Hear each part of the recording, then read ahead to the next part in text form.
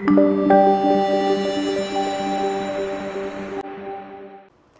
kính chào quý vị khán giả. Bảo Trân rất hân hạnh được đồng hành và gửi tới quý vị những thông tin cập nhật trên kênh YouTube của báo Pháp luật Thành phố Hồ Chí Minh. Nội dung chi tiết sẽ được gửi tới quý vị và các bạn ngay sau đây. Dự báo thời tiết hôm nay, ngày 1 tháng 10.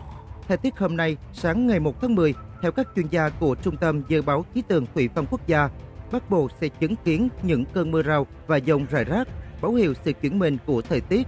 Từ chiều hôm nay cho đến hết ngày 9 tháng 10, miền Bắc sẽ duy trì tình trạng có mưa vài nơi, nhưng ban ngày sẽ có nắng ấm. Đặc biệt từ đêm nay, không khí lạnh sẽ tràn về, khiến không khí trở nên xe lạnh, đặc biệt ở vùng núi cao, nơi nhiệt độ sẽ hạ xuống mức rét buốt. Khu vực Trung Bộ cũng không thoát khỏi sự tác động của không khí lạnh, thì mưa lớn sẽ xuất hiện. Bắc Trung Bộ sẽ có mưa rào và dông từ ngày 1 đến ngày 2 tháng 10, với một số nơi có mưa to. Trong khi từ 3 đến ngày 9 tháng 10, thời tiết sẽ khô ráo hơn, chỉ còn mưa vài nơi và nắng ban ngày. Đặc biệt đêm và sáng sớm ngày 1 đến ngày 4 tháng 10 sẽ lạnh hơn là thời điểm cần lưu ý. Tại Trung Trung Bộ, mưa rào sẽ xuất hiện rải rác và có nơi có dông và Nam Trung Bộ cũng tiếp tục có mưa rào nhưng chủ yếu vào chiều tối. Trong khi đó, Tây Nguyên và Nam Bộ sẽ có những ngày nắng nhưng cũng không thiếu những cơn mưa rào và dông vào chiều tối, cục bộ có mưa to. Riêng Hà Nội, từ ngày 1 đến ngày 9 tháng 10, dự báo sẽ không có mưa, ngày nắng, nhiệt độ cao nhất dao động từ 28 đến 31 độ C. Tuy nhiên, đêm và sáng sớm từ ngày 1 tháng 10, trời sẽ chuyển lạnh với nhiệt độ thấp nhất từ 22 đến 25 độ C, dần giảm xuống 20 đến 22 độ C trong các ngày tiếp theo. Cơ quan khí tượng cũng cảnh báo rằng trong mưa dông có khả năng xảy ra lốc, xét và gió giật mạnh, có thể gây ngập úng tại các vùng trũng thấp cũng như lũ quét và sạt lở đất trên các sườn dốc. Một điểm đáng chú ý là khoảng gần sáng và trong ngày hôm nay, không khí lạnh sẽ bắt đầu ảnh hưởng đến khu vực phía đông bắc bộ, tiếp đó là bắc trung bộ và một số nơi ở phía tây bắc bộ. Gió sẽ chuyển hướng đông bắc với tốc độ từ cấp 3 đến cấp 5. Trong đợt không khí lạnh này sẽ mang đến sự chuyển mình cho thời tiết Bắc Bộ và Bắc Trung Bộ, khiến trời trở nên mát mẻ. Đêm và sáng sớm sẽ lạnh, đặc biệt là ở vùng núi, nơi nhiệt độ có thể xuống dưới 16 độ C. Gió ở vịnh Bắc Bộ cũng sẽ mạnh dần lên, tạo sóng cao từ 1,5 đến 2,5 mét, gây biển động. Khoảnh khắc kinh hoàng, sạt lở cả một quả đồi lớn vùi lấp ô tô trên quốc lộ 2 Hà Giang.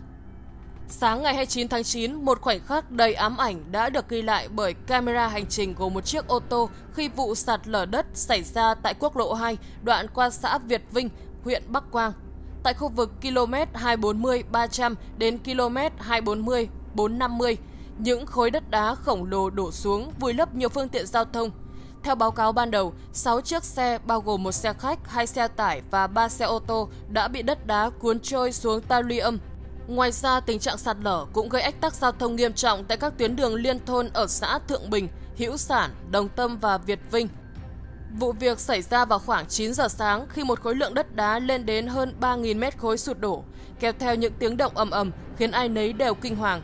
Đến khoảng 18 giờ 30 phút cùng ngày, cơ quan chức năng xác nhận một người đã thiệt mạng là bà Tạ Thị Hạnh sinh năm 1971 ở thôn Nậm Buông và hiện vẫn còn 3 người được cho là mất tích. Trong bối cảnh này, những nỗ lực cứu hộ đang được khẩn trương triển khai. Thảm họa sạt lở kinh hoàng tại Hà Giang khẩn trương ứng cứu người dân, phương tiện bị mắc kẹt. Sáng sớm ngày 29 tháng 9, một thảm họa thiên tai đã bất ngờ ập xuống huyện Bắc Quang, Hà Giang khi một vụ sạt lở nghiêm trọng xảy ra tại quốc lộ 2, km 51, cuốn trôi mọi thứ trong tầm mắt. Kinh hoàng hơn, một người đã mất mạng, hai người khác hiện vẫn đang mất tích, trong khi bốn người bị thương trong tình trạng nguy kịch. Những ngôi nhà đổ sập, hàng nghìn mét khối đất đá như những cơn sóng hung hãn nuốt chửng 6 phương tiện giao thông, trong đó có cả một xe khách và nhiều xe tải. Tính đến 16 giờ chiều cùng ngày, lực lượng cứu hộ đã kịp thời giải cứu 4 nạn nhân bị thương, đưa họ đến bệnh viện đa khoa huyện Bắc Quang và Vị Xuyên trong tình trạng cần cấp cứu khẩn cấp. Ngay lập tức, Công an tỉnh Hà Giang đã triển khai hàng trăm cán bộ và phương tiện đặc chủng, hành động như những chiến binh giữa bão tố, quyết tâm cứu nạn, khắc phục hậu quả và đưa người dân đến nơi an toàn. Song song với lực lượng công an, khoảng 100 cán bộ chiến sĩ từ Trung đoàn 877 và Ban Chỉ huy quân sự huyện Bắc Quang đã gấp rút tới hiện trường, nỗ lực tìm kiếm những người mất tích và giải cứu các phương tiện đang bị kẹt giữa đống đổ nát. Nguy cơ sạt lở vẫn rình rập, với những vết nứt lớn xuất hiện trên các đồi, buộc 17 hộ dân trong khu vực nguy hiểm phải di rời khẩn cấp. ông Nguyễn Văn Giao, Giám đốc Sở Y tế không ngừng chỉ đạo khẩn trương yêu cầu Bệnh viện Đa khoa khu vực Bắc Quang chuẩn bị đội cấp cứu lưu động và xe cứu thương sẵn sàng. Ngành y tế cam kết sẽ không thu viện phí, đồng thời cung cấp suất ăn miễn phí cho những nạn nhân, thể hiện tinh thần đoàn kết và hỗ trợ trong những lúc khó khăn nhất. Với những nỗ lực không ngừng nghỉ của các lực lượng chức năng và tinh thần đồng lòng của cộng đồng, hy vọng rằng những người mất tích sẽ sớm được tìm thấy và nỗi đau sẽ nhanh chóng qua đi. Tìm thấy thi thể người đàn ông đang livestream thì bị đất vùi lấp trong vụ sạt lở ở Hà Giang. Trong một sự kiện đau thương vừa diễn ra ở Hà Giang, thi thể của một người đàn ông đã được tìm thấy sau khi người này mất tích trong khi livestream vụ sạt lở nghiêm trọng. Vào khoảng 13 giờ 30 chiều ngày 30 tháng 9, lực lượng chức năng xác nhận rằng thi thể của nạn nhân được xác định là Tô Đình Điệp, khoảng 30 tuổi, đã được phát hiện tại khu vực km 240 300 đến km 240 450 trên quốc lộ 2. Sự việc bắt đầu vào ngày 29 tháng 9 khi anh Điệp quyết định sử dụng điện thoại để ghi lại cảnh tượng thiên nhiên hung bạo tại nơi có nguy cơ sạt lở. Trong lúc đang phát trực tiếp cho khán giả, một cơn lũ đất đá bất ngờ đổ ập xuống khiến anh không kịp phản ứng và bị vùi lấp. Hình ảnh và âm thanh của khoảnh khắc kinh hoàng này đã khiến người xem không khỏi bàng hoàng. Sau khi nhận được tin báo, các cơ quan chức năng lập tức triển khai đội cứu hộ và huy động máy móc để tìm kiếm nạn nhân. Tuy nhiên, việc tìm kiếm gặp rất nhiều khó khăn do điều kiện địa hình hiểm trở và tình hình thời tiết xấu. Cuối cùng, vào chiều ngày 30 tháng 9, sau nhiều giờ nỗ lực, thi thể của anh Điệp được tìm thấy cách vị trí xảy ra sạt lở khoảng 10 mét, trong tình trạng bị đất cuốn trôi. Ngoài anh Điệp, vào chiều ngày 29 tháng 9, lực lượng cứu hộ cũng đã tìm thấy thi thể của một bé gái 9 tuổi, bé Mai Thị Thùy Trang, tại thôn Thượng Mỹ, xã Việt Vinh, huyện Bắc Quang, nơi cũng xảy ra sạt lở.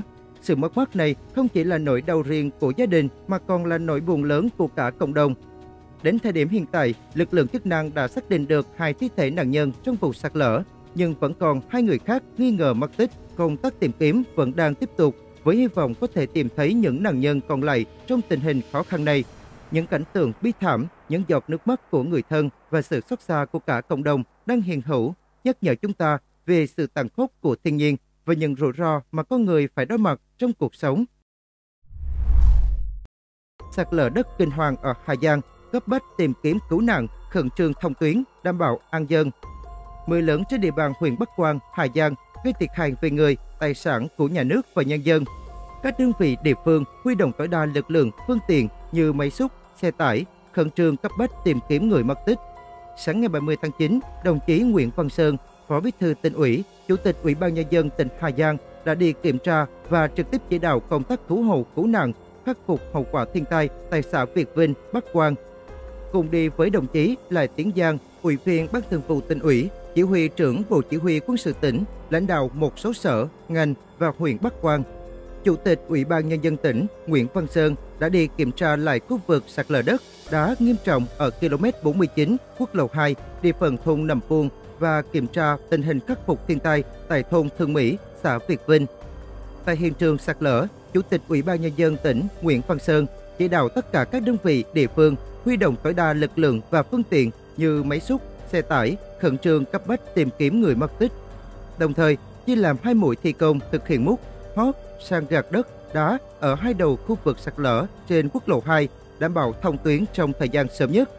Kiểm tra thực tế tại thôn Thương Mỹ, Chủ tịch Ủy ban Nhân dân tỉnh yêu cầu cấp ủy, chính quyền địa phương thực hiện tốt phương châm 4 tại chỗ, kịp thời hỗ trợ nhân dân khắc phục hậu quả thiên tai, sớm ổn định cuộc sống. Đến thăm động viên cán bộ, chiến sĩ và các lực lượng tham gia làm nhiệm vụ cứu hộ, cứu nạn tại khu vực sạt lở trên quốc lộ 2, Chủ tịch Ủy ban Nhân dân tỉnh Nguyễn Văn Sơn yêu cầu các lực lượng tiếp tục nỗ lực triển khai đồng bộ, quyết liệt các giải pháp kịp thời, hiệu quả để thực hiện cứu nạn nhanh nhất.